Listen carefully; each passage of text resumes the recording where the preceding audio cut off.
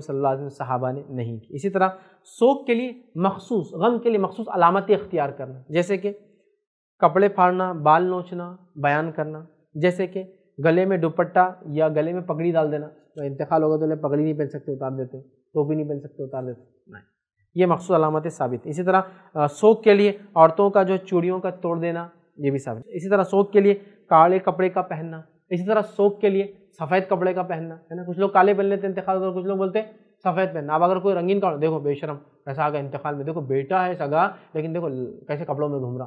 सफ़ेद पहनना चाहिए ना बगैर इंतकाल हुआ तो। ज़रूरी ज़रूरी तो काले कपड़े खास करते हैं, सफ़ेद कपड़े खास करते हैं। इस तरह कुछ लोग बोलते हैं इंतकाल तो तीन दिन नहाना करना नहीं। तीन दिन बगैर नहाए के रहना, गम की अलामत है। देखिए, नहाने का ताल्लुक तहारत से, और तहारत के लिए कोई गम के लिए मना नहीं है, ये तो कभी भी किया जा सकता है। बल्कि मैयत को तो मरते गसल दिया जाता है, तारत दी जाती है, इसलिए कि मौत गसल को तोड़ देती है। फिर तुम कौन होते हो? ज़िंदा रहने वाले तारत नहीं मतलब गसल नहीं ले रहे, तीन दिन।